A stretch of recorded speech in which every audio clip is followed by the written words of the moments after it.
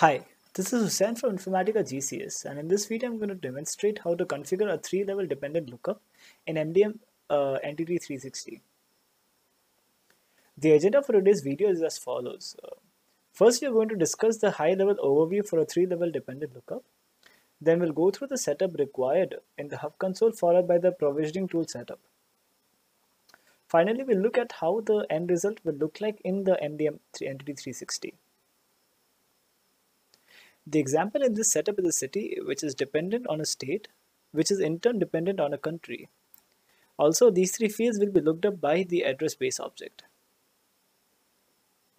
So let us now look at the Hub console configuration.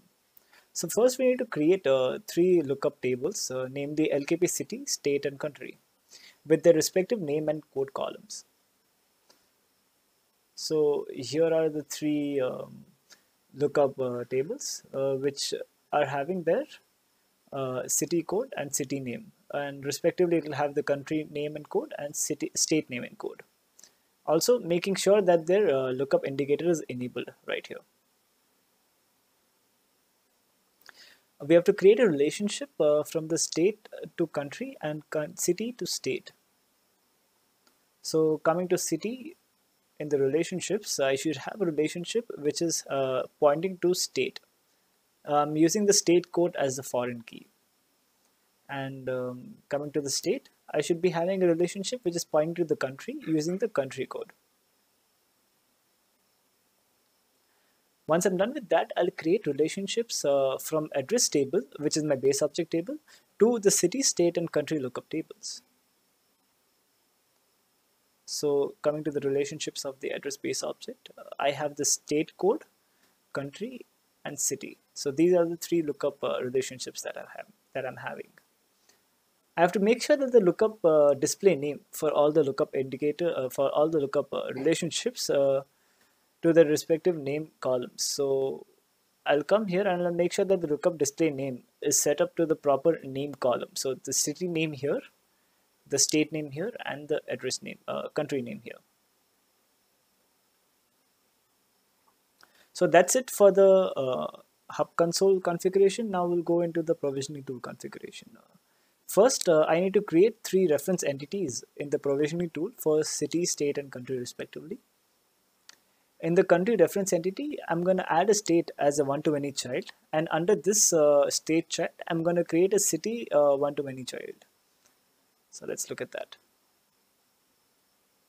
Here are my three uh, reference entities, city, country, and state. Now under country, I'm having under the one-to-many the state, and under the one-to-many of state, I'm having the city. Um, and yeah, uh, we need to add the proper fields for all the entities as well as their children. So I have to add the fields which is there in the tree of country, that is the children's the children and uh, in the reference entities I have to add the proper fields as well. So now uh, I'll go to the lookup field of the address business entity and I'll add the state, country and uh, lookup uh, uh, and uh, city lookup fields.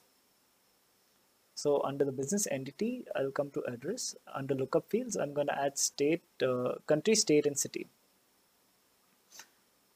Once I'm done with that, the important thing is that I have to set the depends on column, which will basically helps us to uh, you know configure the dependent lookup. So the state is going to be depending on the country and the city is going to be depending on the state. And obviously the city's depends on column will be blank. So let's look at that. So like I said, the country is going to be blank. City is going to be depending on country and the state is depending on the city. Also, I'm going to make sure that the lookup display field is left blank for all the three lookup columns. This I'm making sure because I've already set the lookup display uh, name inside the hub console itself. Once I'm done with this uh, thing, I can you know uh, add the add these BE fields along with the lookup columns in the address uh, BE view uh, in the address BE view. So I'll come to business entity views and in the address view, I'm going to add so address line one and line two are the uh, address business entity columns. Along with that, I'm adding the three uh, lookup columns. And uh, once I'm done with that, I'm going to create all the required transformations. That is the BE to view transformation, the view to BE transformation, and the BE to BE transformation. and in my case I'm having all of them as direct transformations so that's pretty straightforward so this is all that is required for the setup of the three level uh, dependent lookup so let's look at how it looks uh, after we're done with the setup. So now uh, in my case I'm having only a single business entity and that's what I'm going to be looking at in the entity 360 so this is what the entity 360 looks like. I'll just go for a new uh, entity and I'll select address. That is the only option I'm having. So coming here I'll just uh, give some address line one columns and uh, now coming to the country state and city my dependent lookup columns. Now in my setup I do not have any data related to Canada suppose as a country so in my setup I'm, the Canada doesn't have a city or a, a state so if you see, I'll not be getting any uh, further lookups for this country. But now coming to uh, US of A, I see that I'm having some three states. But again, I've not, uh, you know, uh, configured any cities for any of these three states. So I shouldn't be able to see that like so. But uh, now coming to India, I'm having, uh, you know, um, four states and let's go for Andhra Pradesh. And under Andhra Pradesh, I'm having a couple of cities, that is Vijayawada and Vishakhapatnam. And uh, here, under Karnataka, also I'm having a couple of cities here. So I'll just select Bangalore and I can go for save. And that's how we see that, uh, you know, the state is uh, dependent on the country and based on whatever state I choose, if a city exists, I get them as the drop down. So that is the end of this video demonstration of configuring the three level dependent lookup.